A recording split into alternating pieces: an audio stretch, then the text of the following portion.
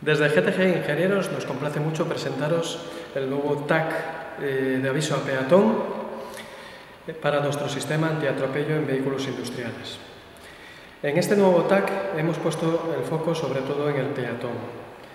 Ambos reciben aviso, el peatón y el conductor del vehículo. El TAC se compone de tres alarmas, una acústica, una luminosa y otra mediante vibración. Además, si, aunque estemos fuera del radio de acción del equipo, podemos pulsar este botón y avisaríamos directamente al carretillero que estamos cerca.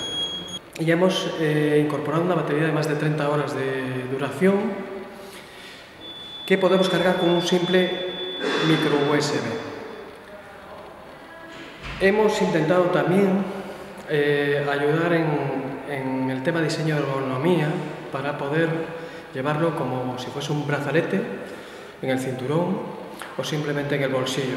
Esperamos que este sistema ayude aún más a evitar esos eh, accidentes que puede haber entre vehículo peatón o vehículo vehículo.